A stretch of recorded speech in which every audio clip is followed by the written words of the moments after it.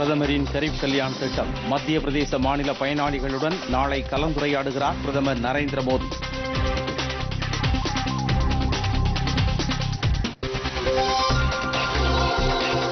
குடியரசுத் தலைவர் ராம்நாத் கோவிந்த் நீலகிரி பயணத்தை நிறைவு செய்து இன்று புதுதில்லி புறப்படுகிறார்.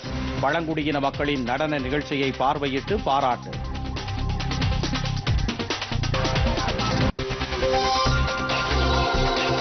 நாடு முழுவதும் மின்சார வாகனங்களின் பதிவு அதிகரிப்பு. மத்திய அமைச்சர் நிதின் கட்கரி தகவல்.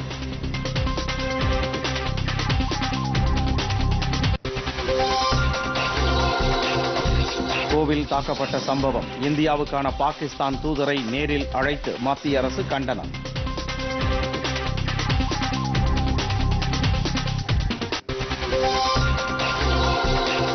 மருத்துவ நிபுணர்கள் சுகாதாரத்துறை அதிகாரிகளுடன் முதலமைச்சர் மு க ஸ்டாலின் இன்று ஆலோசனை தமிழகத்தில் ஊரடங்கை நீட்டிப்பது குறித்து முடிவு.